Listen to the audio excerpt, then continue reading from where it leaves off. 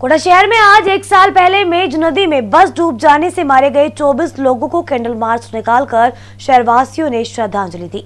श्रद्धांजलि कार्यक्रम में शहर के विभिन्न संगठनों, समाज के लोग शामिल हुए। अब तक 24 लोगों को याद करते हुए दो मिनट का मौन रखकर श्रद्धांजलि दी गई। साथ ही मृतक लोगों के चित्रों पर पुष्पांजलि अर्पित की गई। श्रद्धांजलि व कैंडल मार्च का ये कार्यक्रम छावनी चौपाटी चौराहे पर आयोजित किया गया। कांग्रेस नेता अमित धारीवाल, जिसमें कोटा, उत्तर नगर निगम की महापौर मंजू मेहरा, कांग्रेस नेता पंकज मेहता और शिवकांत नंदवाना मौजूद रहे।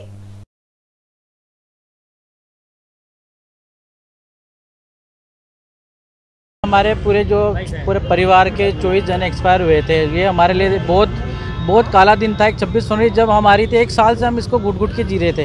हमें बहुत एकदम से ऐसा महसूस रहा था कि हमारा परिवार आज भी हमारे साथ है, बाकी क्या करें, कुदरत ने ऐसी लीला खेली कि हमारे परिवार में इतने इतने जनों की एक साथ भगवान ने उठा लिया, बाकी अब क्या करें, हिम्मत रख के बैठे और शहर वासियों ने और आप मीडिया वासियों ने हमारा पूरा सहयोग दिया और हमें हमें खुशी है कि पूरा कोटा शहर पधारा और आपका पूरा सहयोग रहा और हम इसी को बस याद करके, हिम्मत करके अपने आप को जैसे जैसे हिम्मत देंगे।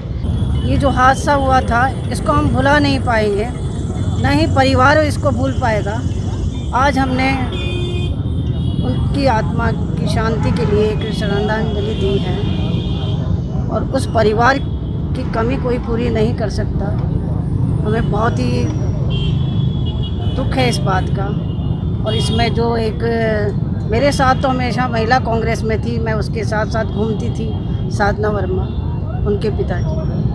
मुझे बहुत ही हम सबको बहुत ही दुख है और आज हम सब इकट्ठे हुए हैं। एक साल पूरा हुआ है, बरसी है, हम लोग सब उनको नमन करने के लिए एकत्रित हुए हैं और भगवान से प्रार्थना करते हैं कि उनको अपने श्री चरणों के अंदर जगह दे और परिवार वालों को इस असहनीय दुख सहन करने की हिम्मत दे।